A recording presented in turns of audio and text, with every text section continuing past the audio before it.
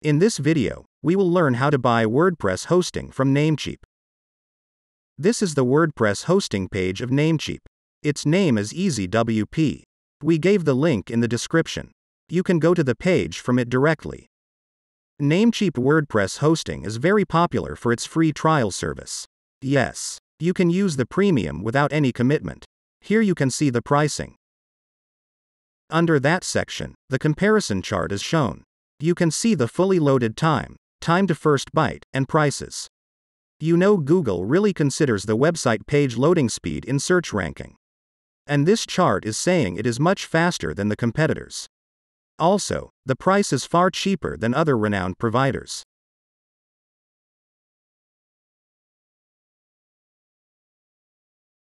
Click on the Start Free Trial button from the top. Then it will redirect you to this page. If you have an existing account, then give the username and password of the Namecheap account. But if you are a new user, then click on Sign Up. Just fill up the form as usual. I am just using a random email and username for demo purposes.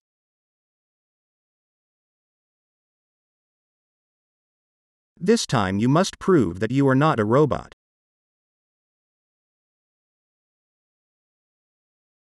After successfully signing up, you will see this payment page now.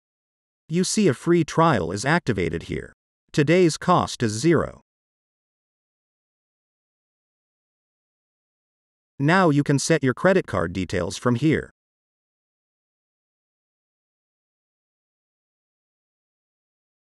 After adding your card, you should click on the Confirm button. I am moving my primary Namecheap account. Here my credit card is already connected. Click on Confirm.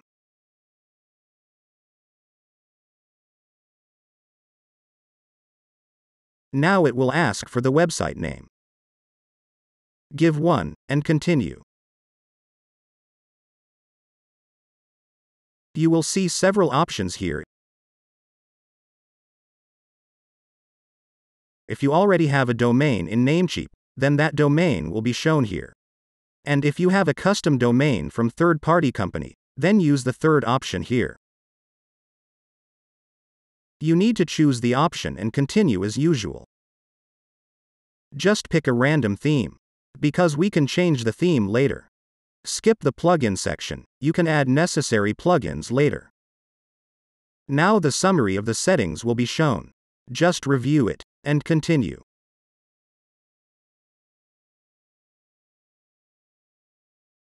The purchasing is done. The website creation is in progress. After the website become live, then click on the domain name.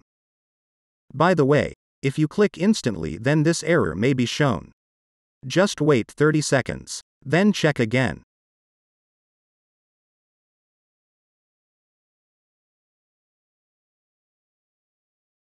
Yes, it's fine now.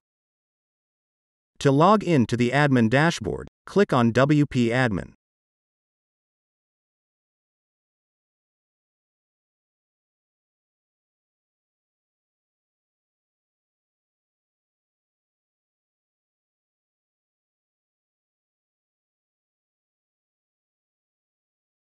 In the Manage section, you can change any setting for this domain.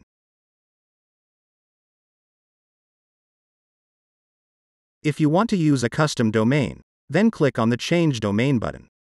In third option, you have to put the domain name and modify the DNS records to connect the custom domain. It is a little technical, we will upload a video on it if you want. Just do a comment, and if it is urgent for you, then click on the question mark, and you will see a live chat option. Just ask for their assistance. Namecheap support is really amazing, I am sure they will help you. If you want to create a new website, then click here simply.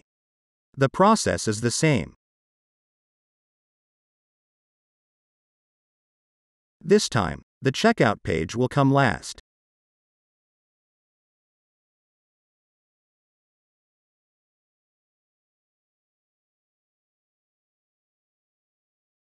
Another website is created successfully. So, this is the tutorial on how to buy WordPress hosting from Namecheap. If you have any questions or need assistance, Then feel free to use the comment section.